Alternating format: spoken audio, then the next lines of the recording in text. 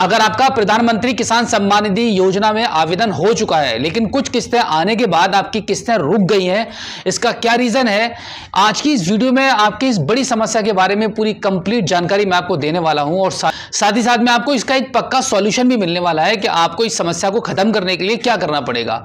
तो सबसे पहले मैं आपको बता दूँ कि आपको एक काम करना होगा आपके मोबाइल फ़ोन या सिस्टम के माध्यम से, जिससे कि आप अपनी समस्या का यह पता लगा पाए कि एक्चुअल में आपकी जो प्रॉब्लम है, पैसे ना आने की काफ़ी किस्तें आपकी रुकी हुई हैं। बहुत सारे पीएम किसान सम्मान निधि धारकों की ये समस्या है। आए दिन कोई ना कोई ग्राहक हमारे पास भी ये समस्या लेकर आता रहता है, जिसकी समस्या को हम समाधान करने की पूरी कोशिश करते हैं और उनको कहीं ना कहीं 90 परसेंट तक समाधान मिल जाता है।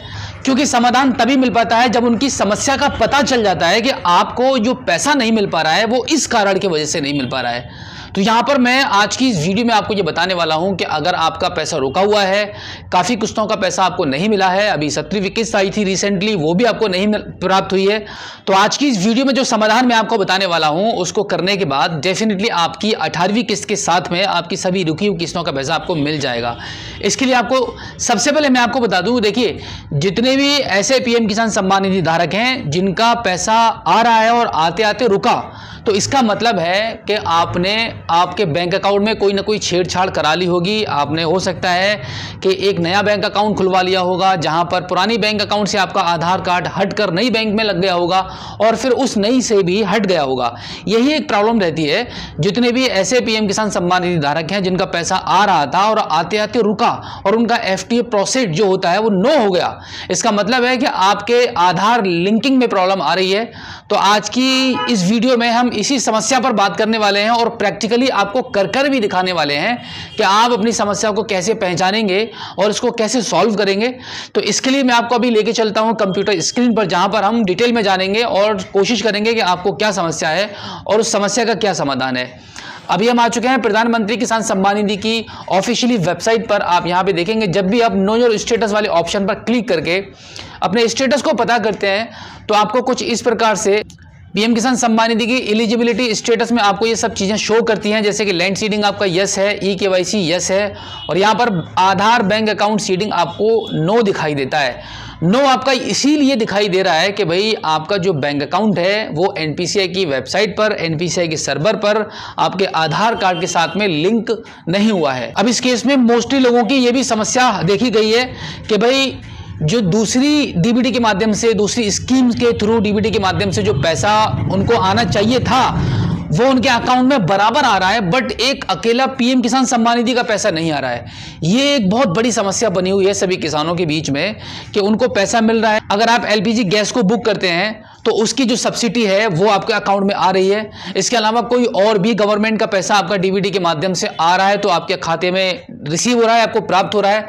बट पीएम किसान सम्मान निधि का पैसा आपको नहीं मिल रहा है। और जब आप अपने स्टेटस को चेक करते हैं तो यहाँ पर आप देख पा रहे हैं, Aadhaar bank account seeding status आपको नो दिखाई देता है। तो यहाँ पर मैं आपको बता दूँ कि बहुत सारे लोगों को यही कंफ्यूजन हो रहा है। बताने वाले भी यही बता देते हैं कि भाई आपका एनपीसीआई पर आधार तो लिंक है बट आपके पीएम किसान सम्मान निधि का पैसा आपको क्यों नहीं मिल पा रहा है? इसकी कोई भी वजह पता नहीं चल पा रही है। एक्चुअली ऐसा क्यों है? तो आज मैं आपको इसकी वजह बताने वाला हूँ कि ये ऐसा क्यों होता है। तो अभी आप यहाँ पर देखेंगे, आपका यहाँ पे स्टेटस नो दिखाई दे रहा है। तो इसके लिए सबसे पहले आपको इस आधार कार्ड की वेबसाइट पर आकर इसका लिंक मैंने वीडियो के डिस्क्रिप्शन में दे दिया है, उस पर क्लिक करके भी आप डायरेक्टली इस लिंक पर आ सकते हैं। यहाँ पर आप लॉगिन वाले ऑप्शन पर क्लिक करेंगे। एक्चुअली यहाँ पर आपको आपके आधार कार्ड के नंबर के माध्यम से एक बार लॉगिन करना होगा, फिर मैं आपको बताऊँगा कि आपको यहाँ पर क्या चेक करना है। यहाँ पर यहाँ पर आपका आधार कार्ड का नंबर एंटर करेंगे, यहाँ पे कैप्चा कोड एंटर करेंगे और लॉगिन विद ओटीपी वाले ऑप्शन पर आप क्लिक कर देंगे। अब यहाँ पर आपके आधार कार्ड में जो मोबाइल नंबर रजिस्टर है, उस पर एक ओटीपी चला जाएगा, उस ओटीपी को यहाँ पे एंटर करेंगे और लॉगिन कर देंगे। लॉगिन करने के बाद आपके माई आधार का इंटरफेस कुछ इस प्रकार से आपकी स्क्रीन पर खुल के सामने आ जाएगा, जहाँ पर आपको काफ़ी सारे ऑप्शन मिलेंगे। उनमें से आपको बैंक सीडिंग स्टेटस वाले ऑप्शन पर आपको क्लिक करके एक बार देखना है। जैसे ही आप क्लिक करेंगे तो सबसे पहले यहाँ पर आपको दिखाई देगा congratulation your Aadhaar bank mapping has been done यानी कि आपका जो आधार कार्ड है आपके बैंक अकाउंट से, लिंक है प्रॉपर। अब यहाँ पर आप देखेंगे आपके आधार कार्ड के लास्ट के चार अंक आपको दिखाई दे रहे हैं। अब सबसे मेन बात यह, यहाँ पे आपकी बैंक आपको शो कर जाएगी कि कौन सी बैंक में आपका प्रॉपर एनपीसीआई पर आपका आधार कार्ड लिंक है। बैंक सीडिंग स्टेटस आपको यहाँ पे एक्टिव दिखाई देगा और यहाँ पे लास्ट डेट भी दिखाई देगी कि कौन सी डेट में आपका ये आधार कार्ड एनपीसीआई की वेबसाइट पर लिंक है। तो यहाँ पर देखिए, सबसे पहले मेन देखने वाली बात ये रहेगी, समझना जो है आपको, यहाँ पर आप अपनी बैंक का नाम देखेंगे कि कौन सी बैंक का नाम यहाँ पर आपको लिखा हुआ आ रहा है। क्योंकि अधिकतर लोगों के साथ ये देखा गया है कि मल्टीपल बैंक में उनके अकाउंट होते हैं तो वो पहचान नहीं पाते हैं कि एक्चुअली उनका कौन सी बैंक में आधार कार्ड प्रॉपर लिंक है। तो सबसे पहले आपको आधार कार्ड की वेबसाइट पर जाकर यही काम करना है। यहाँ से आपको यह पता चल जाएगा कि आपके किस बैंक अकाउंट में आपका आधार कार्ड एनपीसीआई पर लिंक शो कर रहा है। अब जैसे कि आप स्क्रीन पर देख पा रहे हैं यहाँ पर पीएम किसान सम्मान निधि की वेबसाइट पर आपके स्टेटस को चेक करने पर आपका जो Aadhaar bank account seeding status है, वो आपको नो दिखाई दे रहा है। अब ये यहाँ पर नो क्यों दिखाई दे रहा है? जबकि आपका आधार कार्ड की वेबसाइट पर आपने एनपीसीआई के स्टेटस को चेक किया है तो वहाँ पर आपका आधार कार्ड मैपिंग दिखा रहा है। तो यहाँ पर मैं आपको बता दूँ, देखिए, बाकी की जितनी भी आपकी डीबीटी के माध्यम से सरकारी पैसा आपके अकाउंट में आ रहा है बट आपका पीएम किसान सम्मान निधि का पैसा नहीं आ रहा है तो इसके लिए आपके पास सिर्फ़ एक ही समाधान है, जो कि काफ़ी लोगों को हमने सजेस्ट किया, उन्होंने करके देखा, और इस सर्टिफिकेट के दौरान वो हमारा प्रैक्टिकल सक्सेसफुल हुआ है। सभी लोगों का पैसा आया, जितने भी लोगों को हमने ये बताया कि आपको ये करना होगा। अब इस पोजीशन में आपको क्या करना है? यहाँ पर मैं आपको बता दूँ कि आपको अब किसी दूसरी बैंक में अकाउंट को ओपन कराने की ज़रूरत है। और ऐसी बैंक में आप अकाउंट ओपन कराइए जहाँ पर आपकी बात को सुना जा सके। आपको ऐसी किसी भी ऐसी बैंक में आनंद फानंद में जाके अपने अकाउंट को, नया अकाउंट ओपन नहीं कराना है, जहाँ पे सिर्फ़ आपको अकाउंट ओपन करके छोड़ देना है और आपको लगेगा कि भाई मैंने अपना अकाउंट ओपन कर दिया, अब अगली किस्त मेरी आ जाएगी, नहीं आएगी। जब तक कि आप बैंक में आप अपनी बात को ये नहीं समझाएँगे कि आप पीएम किसान सम्मान निधि के लिए इस अकाउंट को ओपन करा रहे हैं, जिस पर अकाउंट ओपन करने के दौरान ही बैंक को, आपके आधार कार्ड को उस अकाउंट के थ्रू एनपीसीआई पर रजिस्टर करना होगा। अगर जिस भी बैंक में आप खाता खुलवा रहे हैं, आपका बैंक आपके आधार कार्ड को एनपीसीआई पर मैपिंग नहीं करेगा तो फिर आपका पैसा नहीं आएगा। इसके लिए सबसे साधारण, आसान और बहुत ही इजी प्रोसेस मैं आपको बता देता हूँ कि आपको क्या करना पड़ेगा।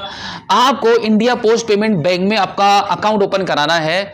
आपके नज़दीकी किसी भी पोस्ट ऑफ़िस में जाकर वहाँ पे मैक्सिमम 200 या 200 रुपए आपसे ले लिए जाएँगे और आपका एक अकाउंट ओपन कर दिया जाएगा। वहाँ पर आप उनको बताएँगे कि यह अकाउंट आप प्रधानमंत्री किसान सम्मान निधि योजना का पैसा लेने के लिए खुलवा रहे हैं तो डीबीडी इनेबल करेंगे वहाँ से आपके उस अकाउंट पर। मैक्सिमम पंद्रह दिन के अंदर, यानी कि अकाउंट तो इंस्टेंट ओपन हो जाता है दो मिनट के अंदर ही। आपकी दो बार फिंगर लगेगी ओटीपी आएगा, आपका अकाउंट ओपन हो जाएगा अकाउंट नंबर भी आपको प्रोवाइड करा दिया जाएगा डाक खाने से। और वहीं से आपका मैक्सिमम पंद्रह दिन के अंदर अंदर, जब भी आप अपने पीएम किसान सम्मान निधि की वेबसाइट पर जाकर अपने इस स्टेटस को चेक करेंगे तो अभी आपको जो स्टेटस आपको नो दिखाई दे रहा है, पंद्रह बीस दिन के बाद मैक्सिमम एक महीना आप मान सकते हैं इतने टाइम के बाद जब भी आप अपने स्टेटस को चेक करेंगे तो यहाँ पर आपको, आपका जो स्टेटस है वो यस में दिखाई देगा। और जैसे ही आपका यस में हो जाएगा, आप मान सकते हैं कि अगली किस्त जब भी आएगी, उस दौरान आपकी जितनी भी पिछली किस्तें हैं वो भी आएँगी और अगली किस्त भी आपको मिल जाएगी। ऐसा, ये सिर्फ़ बताकर ही आपको, ऐसा ये ये सब मैं आपको एक कहानी के बतौर नहीं बता रहा हूँ, ये प्रैक्टिकल करके देखा है, तभी आपको ये मैं सजेस्ट कर रहा हूँ, आपको ऐसा ही करना पड़ेगा। क्योंकि गवर्नमेंट की तरफ़ से भी पोस्ट ऑफ़िस के खाते को प्रेफरेंस दिया जा रहा है तो यहाँ पर सरकार भी यही चाहती है कि भाई पोस्ट ऑफ़िस में अपना अकाउंट ओपन कराइए किसी भी सरकारी पैसे को लेने के लिए डीवीडी के माध्यम से। तो ये आपके लिए बहुत इजी रहेगा आपको बस यही करना है। आपकी सभी समस्या का समाधान हो जाएगा। इसके अलावा कोई और भी आपको प्रॉब्लम है जैसे कि आपका लैंड सीडिंग नहीं है तो आपको तहसील जाना पड़ेगा आपके सभी ज़मीन के कागज़ आपको वहाँ डिपॉजिट करने हैं। अगर आपका ई के नहीं है तो आप खुद भी कर सकते हैं अदरवाइज़ आप, आप किसी भी नज़दीकी सी सेंटर पर जाकर अपनी ई के कंप्लीट करा लीजिए जिससे कि आपका अगला पैसा आना शुरू हो जाए। तो बस यही समस्याएँ कोई बड़ी बड़ी बातें नहीं होती हैं इसमें बताने के लिए ना ही कोई बहुत ही टेक्निकल काम आपको करना पड़ता है। 95 परसेंट लोगों का जो पैसा नहीं मिलता है, वो उनकी आधार सीडिंग की वजह से ही नहीं मिलता है, जिसकी वजह से ही आपका एफ़ टी प्रोसीड नो रहता है। तो आपको बस यही करना है। काफ़ी जगहों पर आप चक्कर लगा लगा कर थक चुके हैं, बहुत कुछ कर चुके हैं बट आप एक बार आप इंडिया पोस्ट पेमेंट बैंक में अपने अकाउंट को ओपन करा लीजिए, आपकी सभी समस्या का समाधान मात्र पंद्रह दिन के अंदर ही हो जाएगा। तो उम्मीद करता हूँ कि आज की इस वीडियो में जो जानकारी मैंने आपको दी है आई होप आपको काफ़ी अच्छी लगी होगी। अगर आप पहली बार हमारे स्मार्ट शॉप यूट्यूब चैनल पर आए हैं और अभी तक आपने हमें सब्सक्राइब नहीं किया है तो प्लीज़ एक बार सब्सक्राइब ज़रूर कीजिए और बेलाइकन को भी प्रेस कीजिएगा। तो चलिए दोस्तों, मिलते हैं आपसे किसी और एक अगली वीडियो में एक नई जानकारी के साथ, एक नई अपडेट के साथ और एक नए जोश के साथ। तब तक के लिए जय हिंद।